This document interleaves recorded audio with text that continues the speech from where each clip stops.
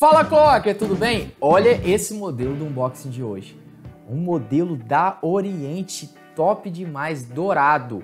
E hoje já começa o vídeo perguntando, no final, coloca aí nos comentários, você usaria ou não usaria esse modelo aqui da Oriente?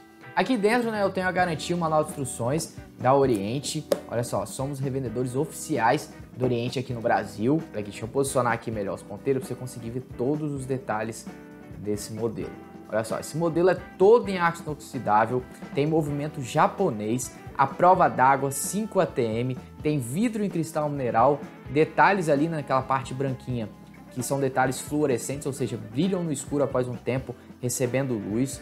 Olha os detalhes dessa pulseira toda em aço. Tem uma parte aqui que é em aço polido e outra parte em aço escovado. Tem esse fecho aqui, né, com dois botões. Esse modelo, ele é fundo de rosca, como você pode ver ali, ó.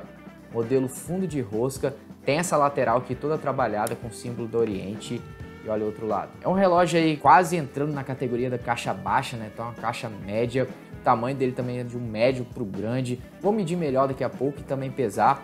Mas olha só, mostrar ele aqui no pulso para você ver como é que fica. Olha como é que ele fica no meu pulso.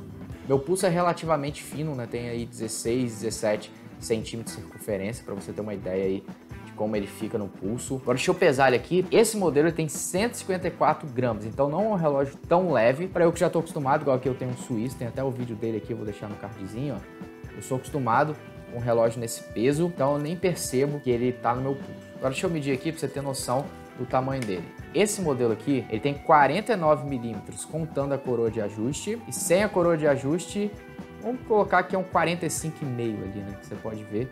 45,5 milímetros. E aqui o comprimento vertical, que é muito importante, vou deixar até um vídeo aí no cardzinho falando disso também, que para você saber se é um relógio que vai ficar legal no seu pulso. Eu explico nesse vídeo aí que está no cardzinho.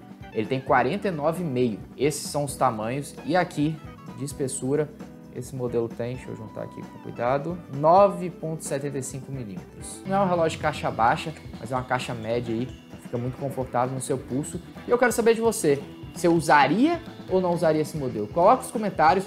E antes de colocar nos comentários, não esqueça de se inscrever no canal se você ainda não é inscrito.